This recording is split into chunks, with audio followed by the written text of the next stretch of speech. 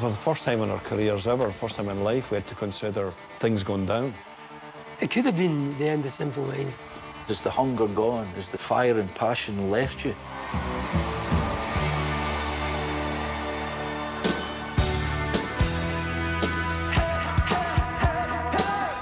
We both lived in the same street. There was this huge sandcastle, and sitting on top was this little kid called Charlie, Charlie Burchill.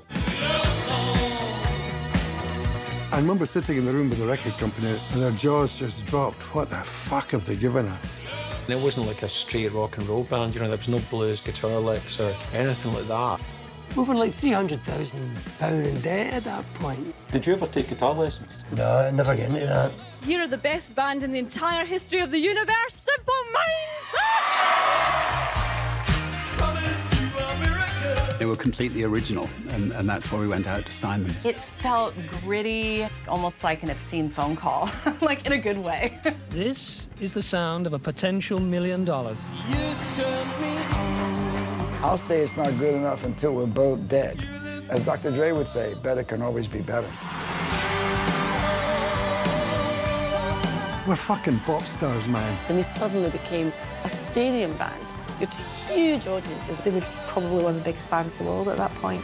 Shut up, do your song, and fuck off. There are people wanting reform in South Africa, but they want peaceful reform. What Simple Minds are looking for is violent reform. It's quite a bold step to potentially maybe sabotage your career. Things started to fragment a little bit. Stone Roses, Manchester. The new heroes were coming over the hills.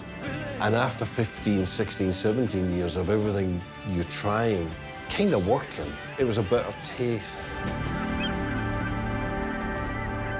I mean, it's a great story, isn't it?